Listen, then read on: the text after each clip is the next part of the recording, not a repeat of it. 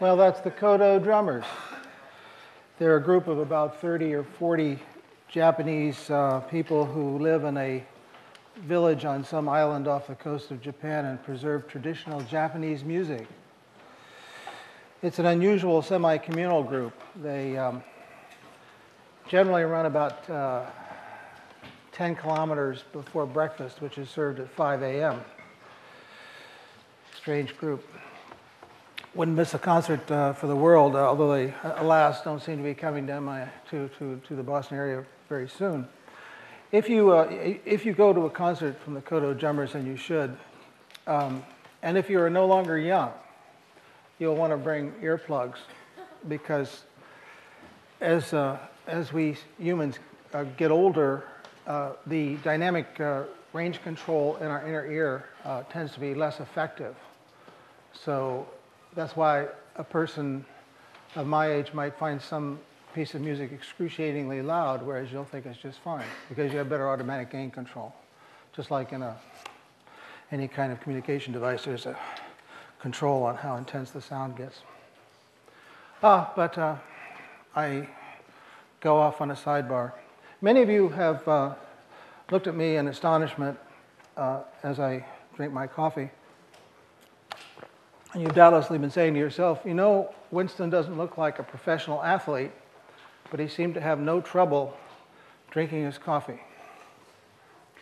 So today's material is uh, going to be uh, pretty easy. So I, I want to give you the side problem of thinking about how it's possible for somebody to, um, to do that. How is it possible? How would you make a computer program that could reach out and drink a cup of coffee if it wanted a cup of coffee? So that's one puzzle I'd like you to work on. There's another puzzle, too. And that, that puzzle concerns uh, diet drinks. This is a so called Diet Coke. That's right. Uh, if you take a, a Diet Coke and ask yourself, what would a dog think a Diet Coke is for? That's um, another puzzle that you can work on while we go through the material of the day. So this is our first lecture on learning, and I want to spend a minute or two in the beginning talking about the lay of the land, and then we'll race through some material on nearest neighbor learning, and then we'll finish up with a discussion, with the advertised discussion of sleep, because I know uh, many of you think that because you're MIT students, you're pretty tough and you don't need to sleep and stuff, and uh, we need to address that question before it's, before it's too late in the semester to, to get back on track. All right, so here's the story. Now, the way we're going to look at learning is that there are two kinds there's this kind, and there's that kind. And we're going to talk a little bit about both kinds. The kind on the right is, uh, regular, is, is learning based on observations of regularity.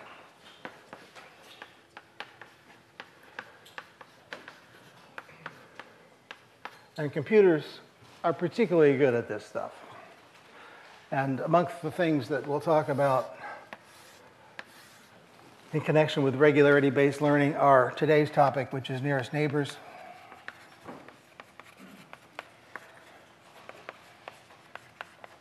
Then, a little bit downstream, we'll talk about neural nets.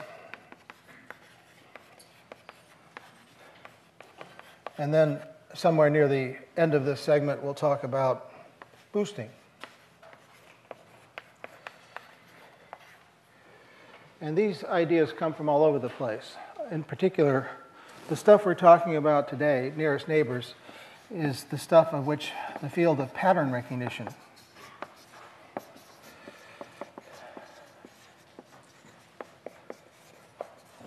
It's the stuff of which pattern recognition journals are filled.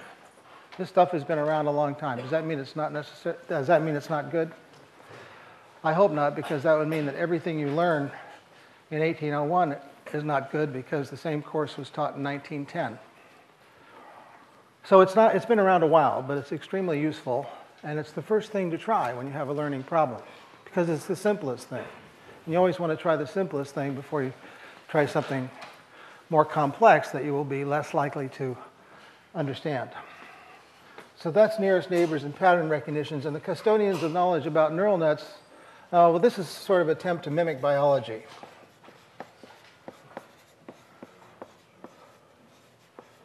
And I'll cast a lot of calumny on that when we get down there to talk about it. And finally, this, uh, this is the gift of the theoreticians. So we in AI have uh, invented some stuff, we've borrowed some stuff, we've stolen some stuff, we've championed some stuff, and we've, we've improved some stuff. That's why our discussion of learning will reach around all of these topics. So that's regularity-based learning, and you can think of this as the, uh, as the branch of bulldozer computing. Because when doing these kinds of things, a computer is processing information like a bulldozer processes gravel. Now, that's not necessarily a good uh, model for all of the kinds of learning that we humans do. And after all, learning is one of the things that we think that characterizes human intelligence. So, for to build models of it and understand it, we have to go down this other branch too. And down this other branch, we find learning ideas that are based on constraint. And let's call this the uh, human like side of the picture. And we'll talk about ideas that enable, for example, one shot learning, where you learn something definite uh, from, each from each experience. And we'll talk about explanation based learning.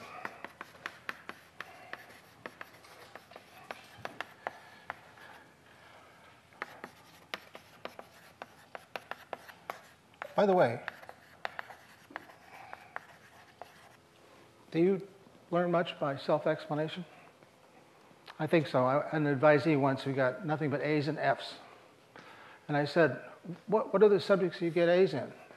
And why don't you get A's in all of your subjects? And he said, oh, I get A's in the subjects when I convince myself the material is true.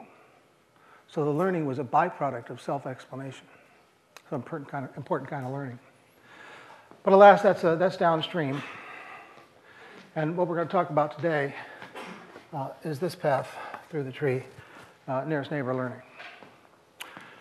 And here's how uh, it works uh, in general. There is, um, here's a, just a general picture of what we're talking about. When you think of pattern recognition or nearest neighbor based learning, you've got some sort of mechanism that generates a vector of features. So we'll call this the feature detector.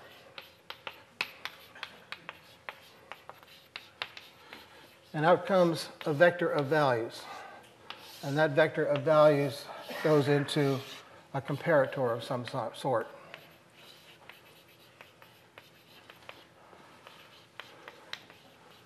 And that comparator compares the feature vector with feature vectors coming from a library of possibilities. And by finding the closest match, the comparator determines what the object, what some object is. It does recognition.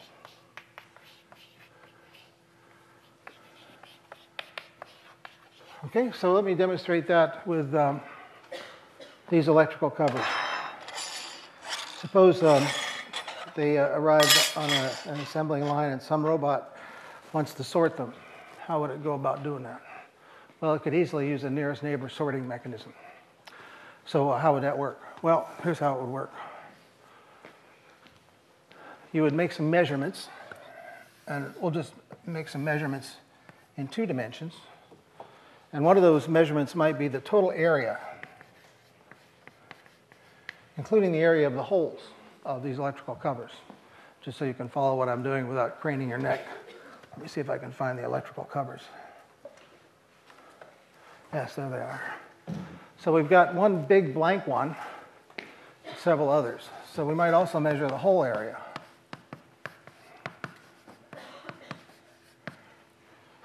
And this one here, this, uh, this guy here, this big blank one has no hole area, and it's got the maximum amount of total area. So it will find itself at that point in this space of features. Then uh, we've got the uh, guy here with room for uh, four sockets in it. That's got the maximum amount of hole area as well as the maximum amount of area. So it'll be right straight up, uh, maybe up here. Then we have, uh, in addition to those two, a blank uh, cover like this. It's got about half the total area that any, uh, that any cover can have, so we'll put it right here. And finally, we've got uh, one more of these guys. Oh, yes, this one. Half the hole area and half the total area. So I don't know, let's see, where will that go? Maybe about right here. So now uh, our robot is looking on the assembly line and it sees something coming along and it measures the area and of course there's noise, there's manufacturing variability, so it won't be precisely on top of anything, but suppose it's right there. Well, it doesn't take any genius, human or computer, to figure out that this must be one of those guys with maximum area and maximum hole area. But now let's ask some uh, other questions. Uh, where would um, where would uh, a uh, what would that be, or what would this be, and so on. Well, we have to figure out what those newly viewed objects are closest to in order to do an identification. But that's easy. We just calculate the distance to all of those, uh, all, all, of those standard Platonic ideal uh, descriptions of things, and we find, find out which is nearest. But in general, uh, it's a little easier to think about producing some boundaries between these various idealized places so that we can just say, well, which area is the object in, and then we'll know instantaneously uh, to, to what category it belongs. So if we only had two, like the purple one and the yellow one, it would be easy because uh, we'd just con- construct uh, a, uh, a line between the two uh, with the line between the, the purple and the, and the yellow as uh, a perpendicular bisector. And so drawing it out instead of talking about it, if there were only two, that would be the boundary line. Anything south of the dotted line would be purple and anything north would be yellow. And now we can do this with uh, all of the points, right? So we can figure out, oh, could you, Pierre, could you just close the laptop, please? So if we want to do this with all these guys, uh, it would go something like this. I better get rid of these dotted X's before they confuse me. But let's see, we got, if, if these were the only two points, then we want to construct a perpendicular bisector between the line joining them. And if these two were the only points, I'd want to construct this perpendicular bisector. And if um, these two were the only points, I want to construct a perpendicular bisector. And if these two points were the only ones involved, I'd want to construct, oh, you see what I'm doing. I'm constructing perpendicular bisectors, and, and, and those are exactly the those are exactly the lines that I need in order to divide up this space. And it's going to divide up like this.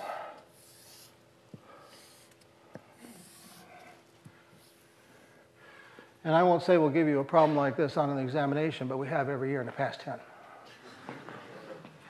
to divide up a space um, and produce what we would like to give, something we would like to give a name. You know, Rumble still Rumpelstiltskin effect. When you have a name, you get power over it. So we're going to call these decision boundaries.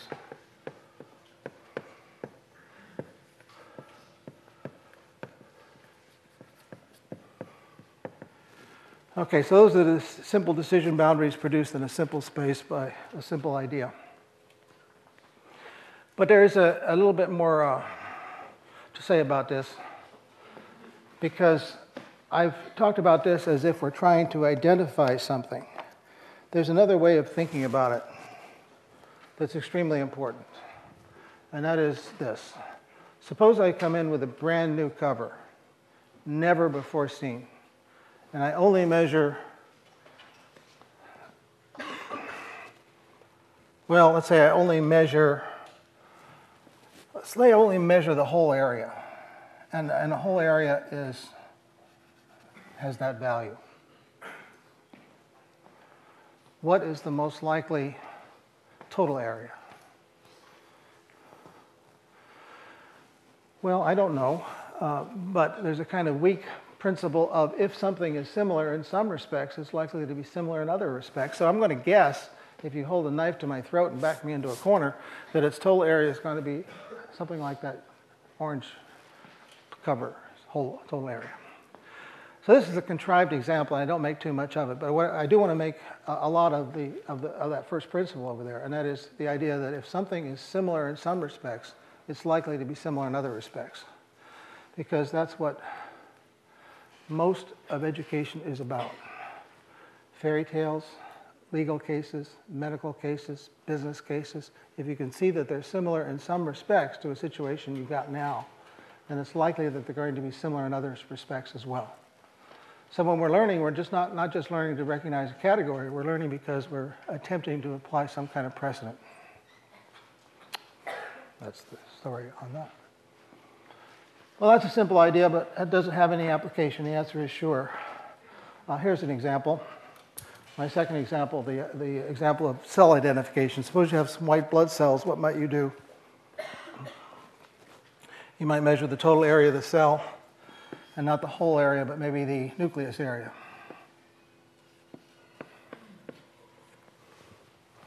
And maybe you might measure four or five other things and put this thing in a high dimensional space. You can still measure the, the nearness in a high dimensional space, so you can use the idea to do that. It works pretty well. A friend of mine once started a company based on uh, this idea. He got wiped out, of course, uh, but it wasn't his fault. What, what happened is that somebody had been in a better stain, and it was, became much easier to just do the um, recognition by brute force. So let's see, uh, that's two examples. The introductory example of the holes, of the, of the, of the electrical covers, and the example of cells. And what I want to do now is show you that how the idea can reappear in disguised forms in uh, areas where you might not expect to see it. So uh, consider the following problem. Uh, you have a collection of uh, articles uh, from magazines, and, and, you, and, you, and you're interested in learning something about uh, how to address a particular question. How do you go about finding the articles that are relevant to your question? So this uh, is um, this is a puzzle that uh, has been studied for decades by people interested in information retrieval, and here's the simple way to do it.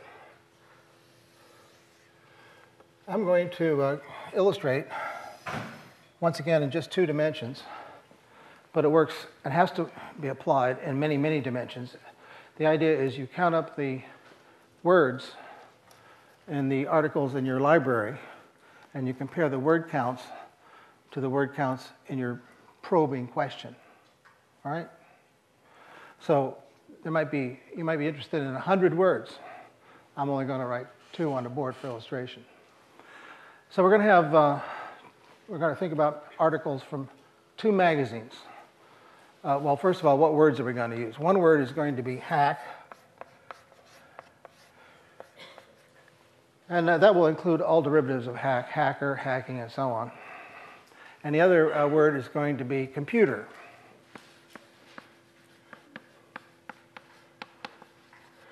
And so it would not be surprising uh, for you to see uh, that articles from Wired magazine might appear in places like this. They would involve lots of uses of the word computer and lots of uses of the word hack. And now, for the sake of illustration, uh, the second magazine from which we are going to draw articles is uh, Town and Country. It's a very Tony magazine, and the people who read uh, Town and Country um, tend to be social parasites, and they, um, they, they, they still use the word hack because you can talk about hacking. There's some sort of specialized term of art in dealing with horses. So all the Town and Country uh, articles would be uh, likely to be down here somewhere. And maybe there'd be one like that where they talk about hiring some computer expert to keep track of the results of the, day, of the, of the weekly hunt or something.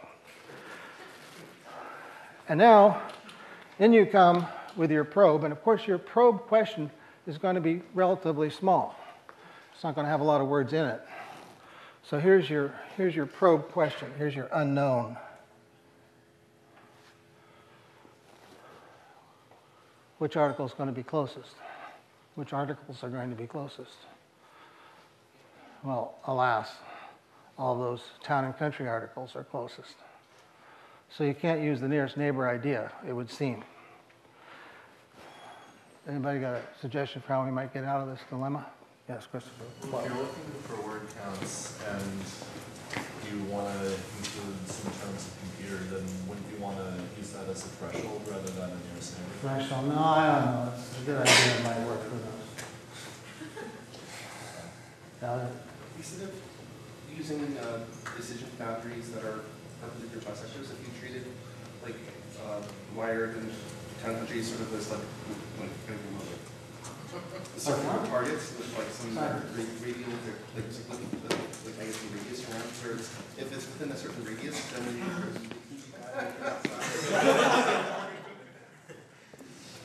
yes.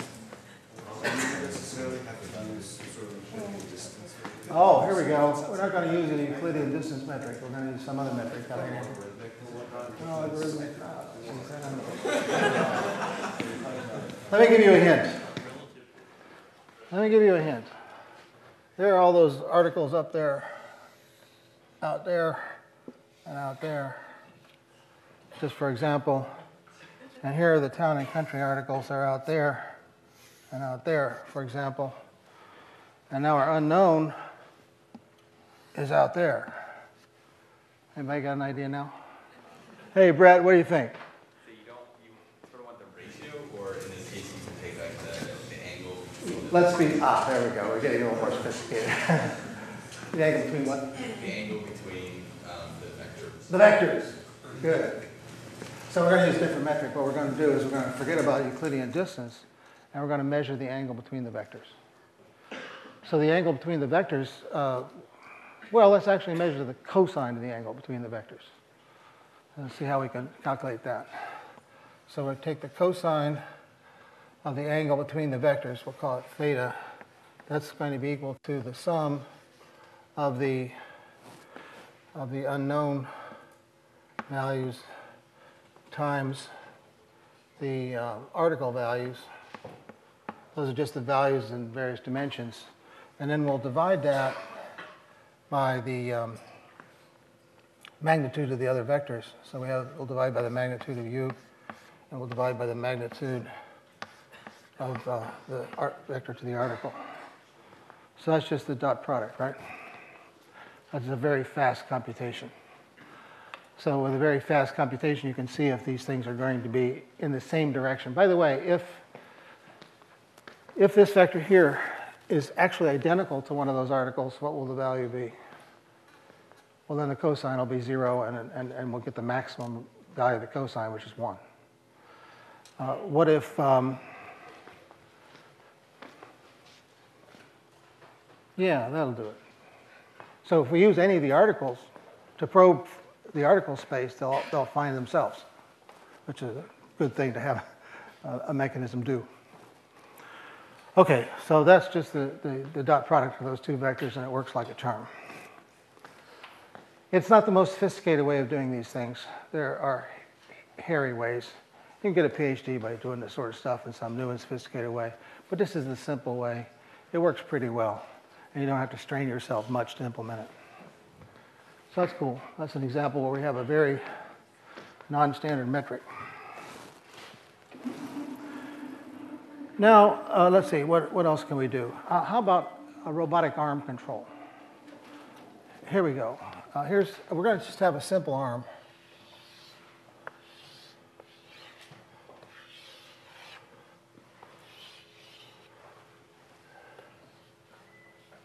And what we want to do is we want to get this arm to move that ball along some trajectory at a speed, velocity, and acceleration that we've determined. So we've got uh, two problems here. Uh, well, let's see. We've got two problems because, first of all, we've got angles, theta 1 and uh, theta 2. It's a two degree of freedom arm, so there are only two, two, uh, two angles. So the first problem we have is the kinematic problem of translating the xy coordinates of the ball, the desired ones, into the uh, theta 1, theta 2 space. That's simple kinematic problem. No F equals ma there. It doesn't involve forces or time or acceleration or anything. Pretty simple. But then we've got uh, the problem of um, getting it to go along that trajectory at a, you know, with positions, speeds, and accelerations uh, that we that we desire. And now you say to me, well, I've had 801. I can do that. And that's true. You can because it's Newtonian mechanics. All you have to do is solve the equations.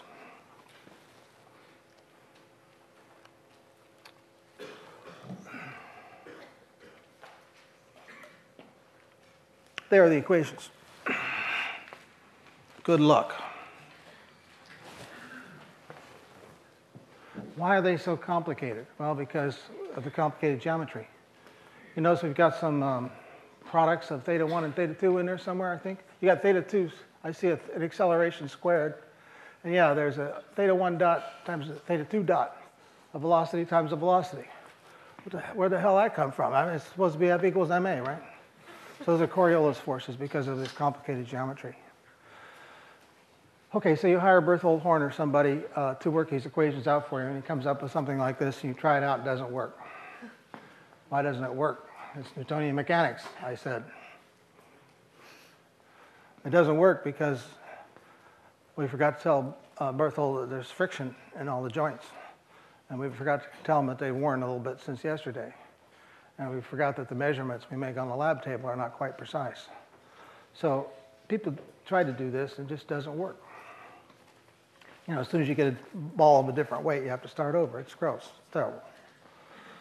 So I don't know. I, I can do this sort of thing effortlessly, and I couldn't begin to solve those equations.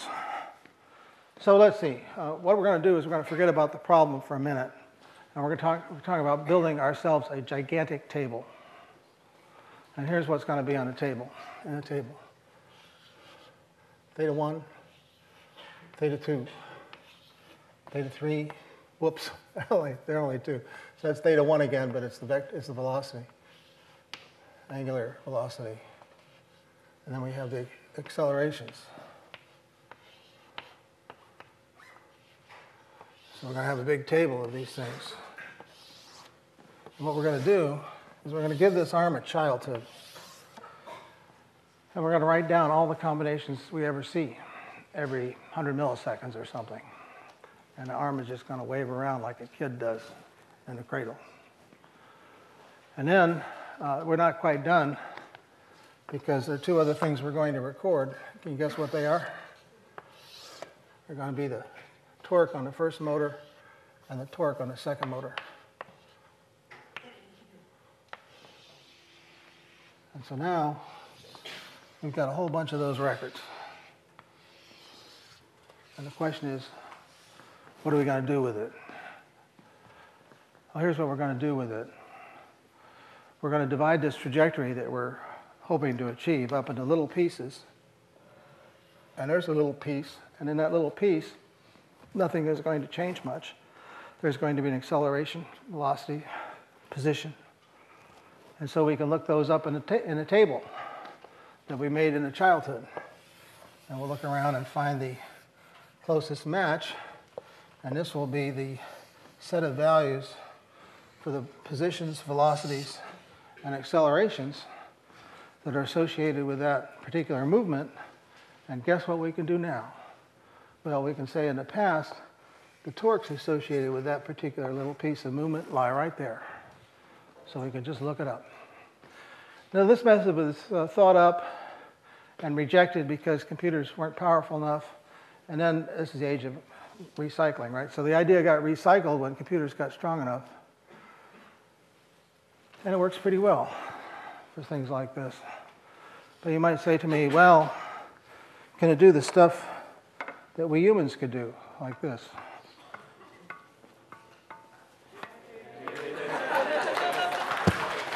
And the answer is let's look.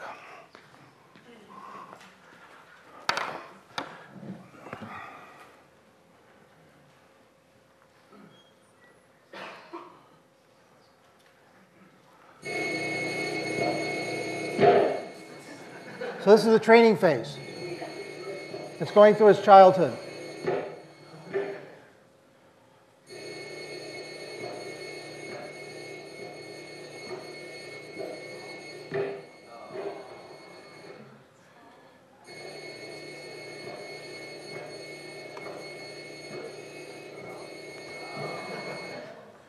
You see, what's happening is this the initial table won't be very good.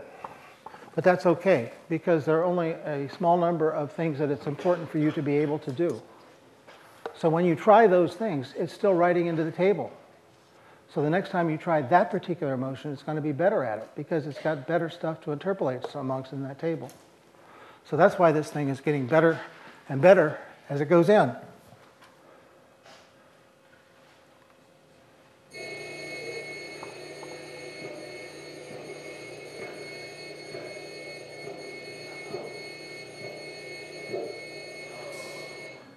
As good as I was doing.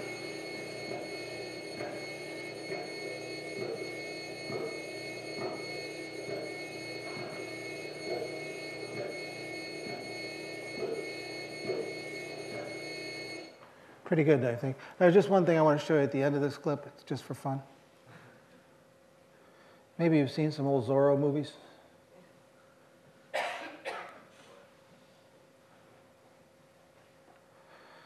So here's a little setup where this thing has learned to use a lash.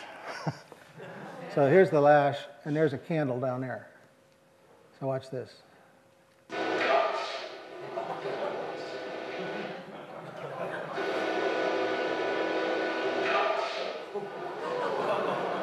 Pretty good, don't you think? So how fast does the learning take place? Let me go back to that other, uh, other those slides and show you. So here, here's some graphs to show you how fast that goes. Boom. That gives you the curve of the curves of how well the, the robot arm can go along a straight line after no practice with just some stuff recorded in the memory and then with a couple of practice runs that give it better, better values amongst which to interpolate. So that, uh, I, think, I think that's pretty cool. So simple, but yet uh, so effective. But you still might say, well, I don't know. It might be something uh, that uh, can be done in special cases. I wonder if old Winston uses uh, something like that when he drinks his coffee. Well, we ought to do the numbers and see if it's possible. But I don't want to use coffee. It's the baseball season. We're approaching the World Series. We might as well talk about professional athletes.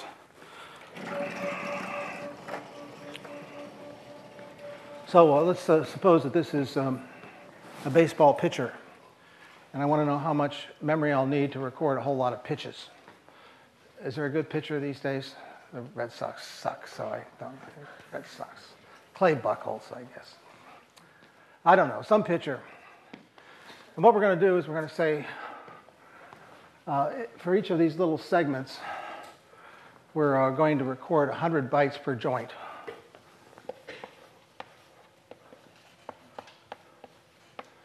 And we, you know, we're, we got joints all over the place. I don't know how many are involved in doing a baseball pitch, but let's just say that we have 100 joints.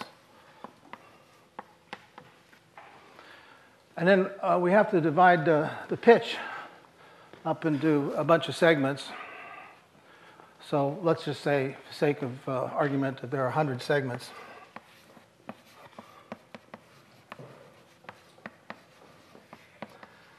And how many pitches does a pitcher throw in a day?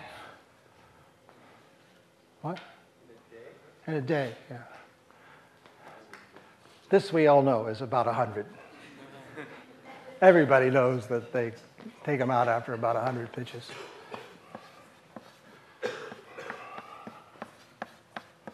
So what I want to know is how much memory we need to record all the pitches a pitcher pitches in his career. So we still have to work on this a little bit more. How many days a year does a pitcher pitch? Well, they've got winter ball and that sort of thing, so let's just approximate it as 100. I don't know, some of these may be a little high, some of the others may be a little low. And of course, the career, just to make things easy, say 100 years. So that's uh, 1, 2, 3, 4, 5, 6. So we have 10 to the 12th bytes. Is that uh, hopelessly big to store in here?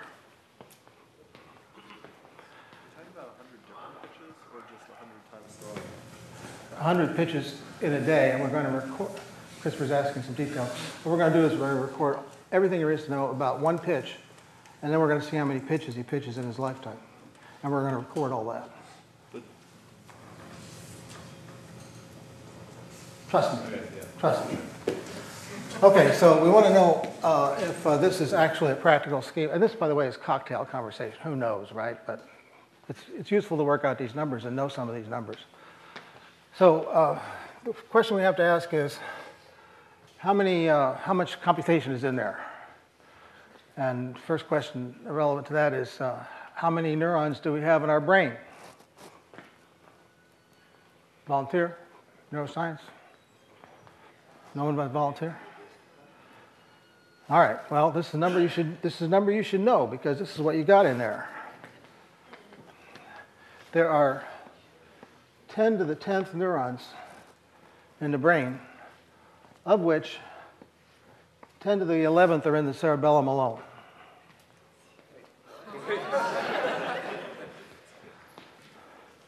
what the devil do I mean by that? I mean that your cerebellum is so full of neurons it dwarfs the rest of the brain. So if you exclude the cerebellum, you've got about 10 to the 10th neurons. And there are about 10 to the 11th neurons in the cerebellum alone. What's the cerebellum for? Motor control? Hmm, interesting. So we're a little short. Oh, but we forget uh, that's just the number of neurons. We have to count up the number of synapses. Because conceivably we might be able to adjust those synapses, right? So how many synapses does a neuron have? The answer is it depends. But the ones in the cerebellum, I should be pointing back there, I guess. 10 to the fifth. So if we add all that up, we have 10 to the 16th. No problem. It's just an existence proof that you don't have to worry too much about having enough storage. So maybe our cerebellum functions in some way as a gigantic table. And that's maybe how we learn motor skills by filling up that table as we run around uh, emerging from uh, the cradle, uh, learning how to manipulate ourselves as we, as we go on. So that's a story on, uh, on arm control. Now, all this is uh, all this is pretty straightforward, easy to understand, and of course there are some there are some problems.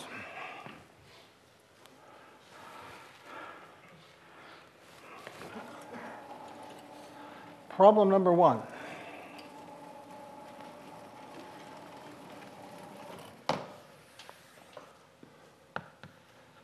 What if the space of samples looks like this?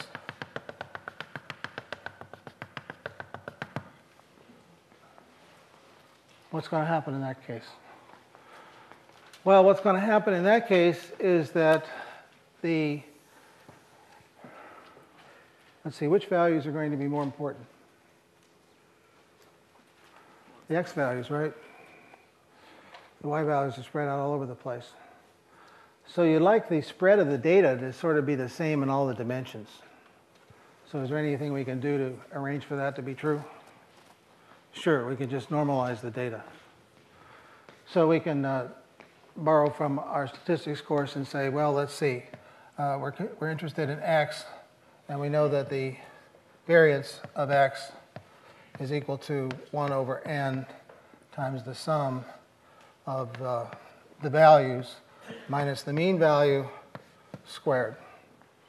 That's a measure of how much the data spreads out.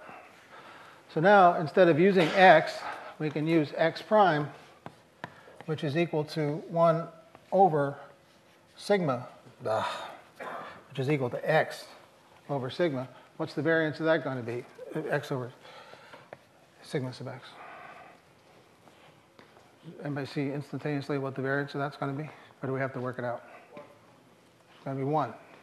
Work, it, work out the algebra for me. It's, it's, it's obvious. It's simple just substitute x prime into this formula for the variance and do the algebraic high school manipulation, you'll see that the variance turns out now to be of this new variable, this transformed variable, would be 1. So that problem, uh, the, um, the, the non-uniformity problem, the, the uh, spread problem, is uh, easy to handle.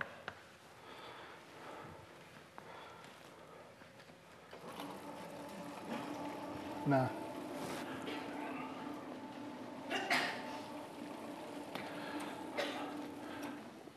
what, what about that other problem? Uh, no cake without flour.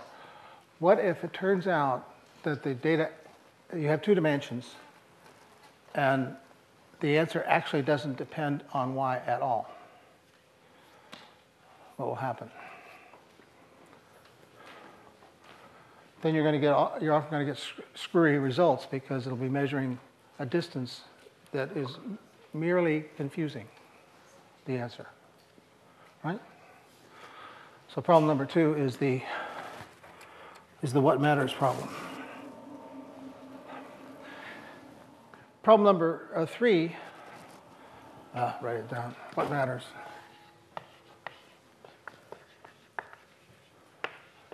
Problem number three is what if the, what if the, what if the answer doesn't depend on the data at all? Then you've got the no, you, you, you got the trying to build a cake without flour. Once somebody asked me if, a, a, classmate of mine who went on to become an important executive in an important credit card company asked me if we could use artificial intelligence to determine when somebody was going to go bankrupt. And the answer was no, because the data available was, was data that was independent of that question. So he was trying to bake a cake without flour. You can't do that. All right, so that concludes what I want to say about nearest neighbors. Now I want to talk a little bit about sleep.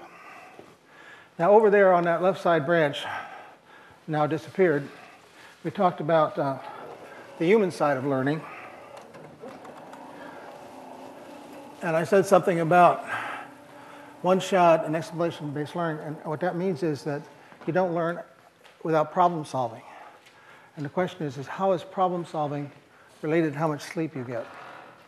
And to answer questions like that, of course, you want to go to the people who are the custodians of the kind of knowledge you're interested in. And so you would say, who are the custodians of knowledge about how much sleep you need and what happens if you don't get it?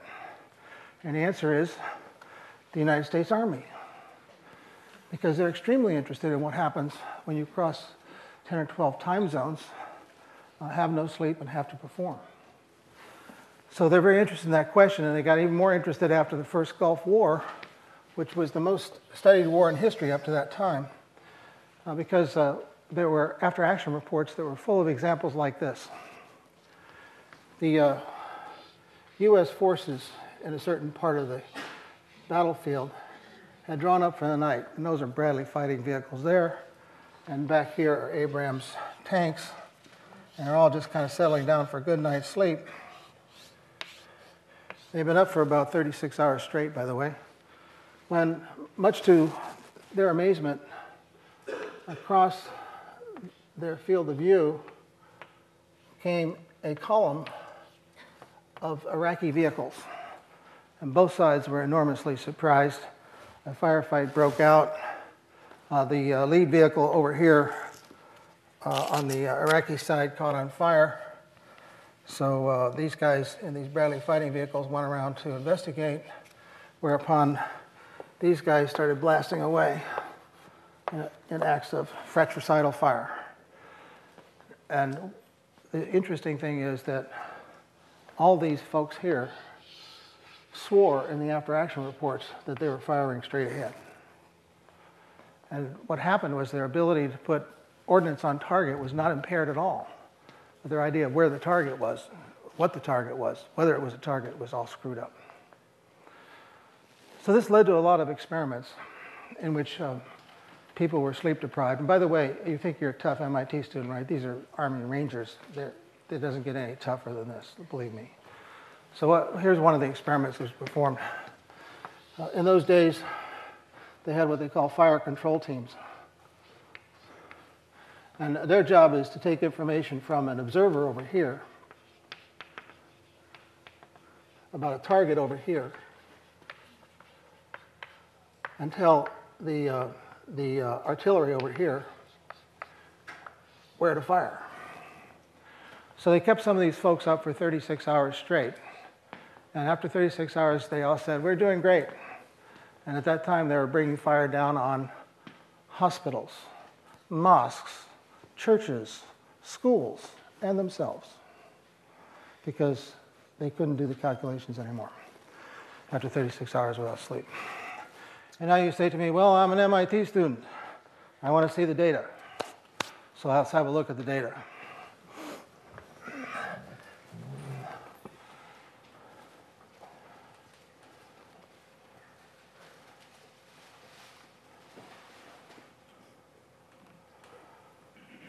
Okay, so there it goes. That's what happens uh, to you after 72 hours without sleep. These are simple things to do, simple things, very simple calculations you have to do in your head, like adding numbers, spelling words, and things like that. So after 72 hours without sleep, your performance relative to what you were at the beginning is about 30%. So loss of sleep destroys ability.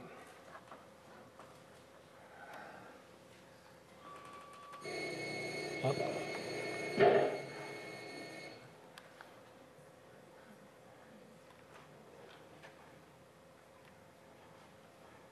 Sleep loss accumulates. So you say, well, I need eight hours of sleep, and that, what you need, by the way, varies. Uh, but I'm going to get by with seven hours of sleep. So after 20 days of one hour's worth of sleep deprivation, uh, you're down about 25%. If you say, well, I, I only need, uh, I, I need eight hours of sleep, but I'm going to have to get by with uh, just six, after 20 days of that, you're down to about uh, 25% of uh, your original capability. So you might say, well, does caffeine help, or naps, naps in this case? And the answer is yes, a little bit. Uh, some people uh, argue that you get uh, more effect out of the sleep that you do get if you divide it into two. Winston Churchill always took a three hour nap in the afternoon. He said that way he got a day and a half's worth of work out of every day. He got the full amount of sleep, but he divided it into two pieces. Here's the caffeine one. So caffeine does help. But now you say, well, shoot, you know, uh, I think um, I'm going to take it kind of easy this semester and I'll just work hard during uh, the week before finals. Uh, maybe I won't even bother sleeping uh, for the 24 hours before the 6034 final. It's okay. Well, let's see what will happen.